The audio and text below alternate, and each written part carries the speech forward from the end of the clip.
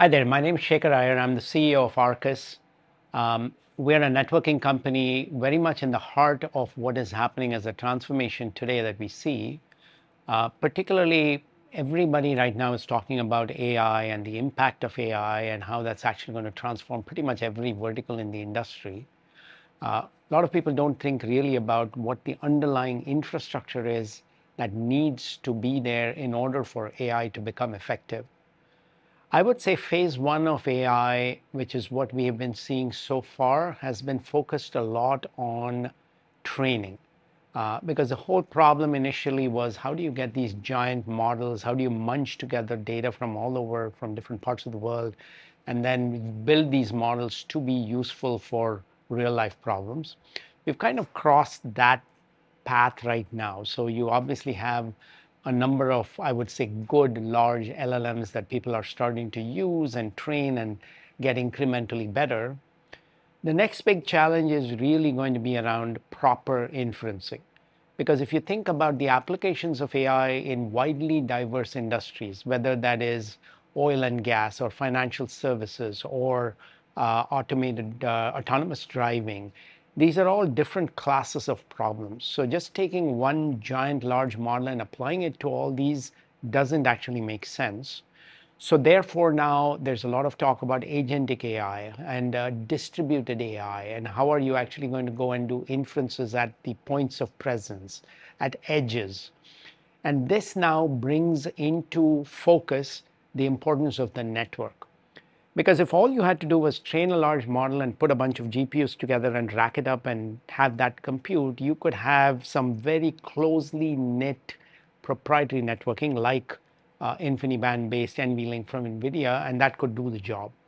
But now, the moment you start taking that and expanding that out, and you're going from single training data center to multiple training data centers, and then going from those training data centers to the inference edges, it becomes extremely important for what that network fabric looks like, how efficient is that network fabric, uh, and in, in addition, how much of the kind of power consumption problem that everybody is talking about for large scale data centers, how can that be helped by the network in terms of how it efficiently manages the bits and bytes that move across the uh, channels. And then finally, what is the cost of doing all of this? Because today, once again, AI is such a big force that people are not particularly thinking about exactly how many GPUs they need. I mean, they're really over provisioning this in order to be able to not be stranded uh, for needs for the future. But soon they're going to start thinking about what is the cost of all of this infrastructure how do I manage to get the most efficiency out of my architecture?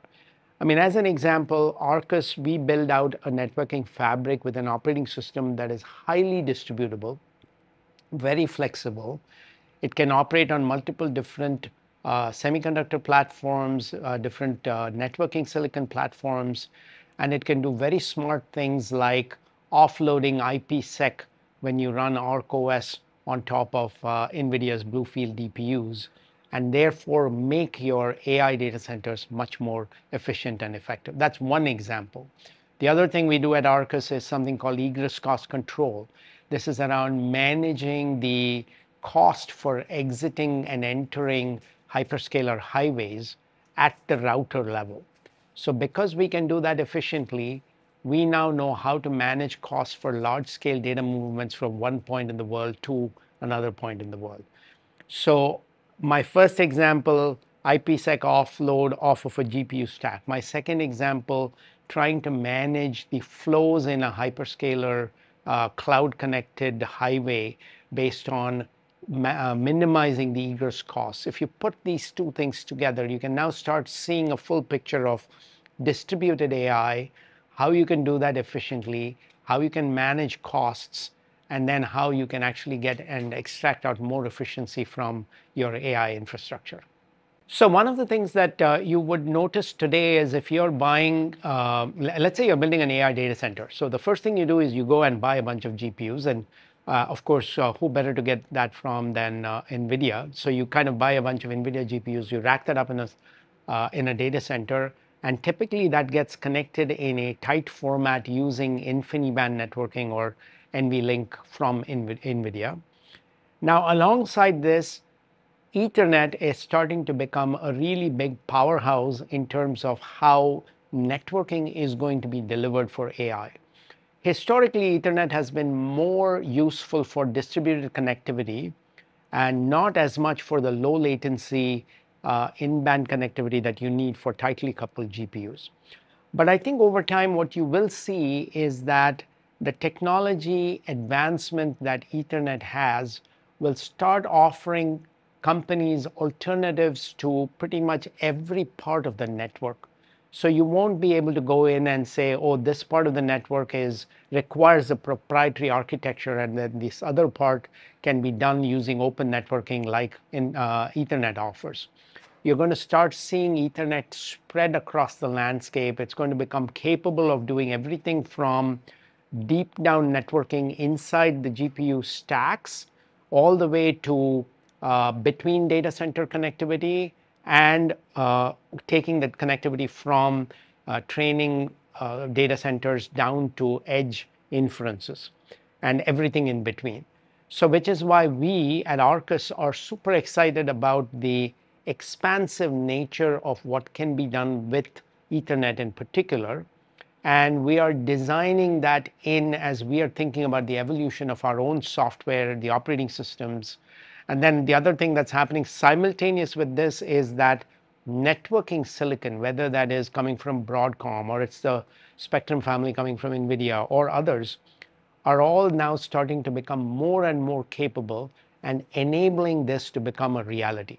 So a year or two or three from now, I would not be surprised if the entirety of networking can be offered using a disaggregated stack like what we present to our customers using best-in-class software, which obviously I hope that that's Arrcus for all our customers, and then running on top of best-in-class hardware, semiconductor, and silicon, all the way from everything Broadcom and NVIDIA produce down to processors coming from people like Intel and ARM uh, for, um, let's say, kind of uh, lower latency type applications that can be done just on a compute infrastructure or in the cloud. So when we talk about AI, one other point that I'd like to talk about is security. Uh, I mean, you really can't complete a discussion around infrastructure without addressing the requirements for security.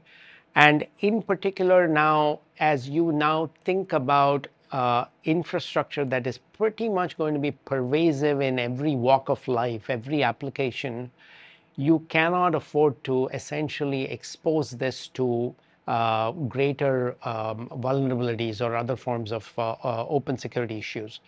So then how does the industry start addressing this? One, I think, is uh, there is generally going to be a collapsing of some of the stacks. So rather than having multiple tiers of everything and making sure that you have uh, security at this boundary and that boundary and yet another boundary, you're going to start relying on basics like your network infrastructure to start offering up security that just comes um, without having to necessarily encode it or perhaps even add that as an optional add-on later. So I'll give you one example is uh, as we design routers at Arrcus, as we design routing software, uh, we're always conscious that this is now going to need to be enabling the highest forms of security for our customers. So um, we do things like route origin validation, where we are able to recognize the um, entry points from which packets came to an Arrcus router. And then once you know where this came from, if you had to do certain rule-based modification or certain policies that you want to impose based on the routes and origins of those routes, then you can start doing that because we have now exposed that as an API to our customers to start programming on top of. So this is an example of how security gets baked in at the network level rather than becoming an afterthought uh, for someone to deal with later. So the more AI becomes the norm in terms of how people are building and deploying applications, the more we are going to have performant infrastructure built at that network level, but equally make it much more secure than today's networking infrastructure is for customers dealing with applications before the era of AI.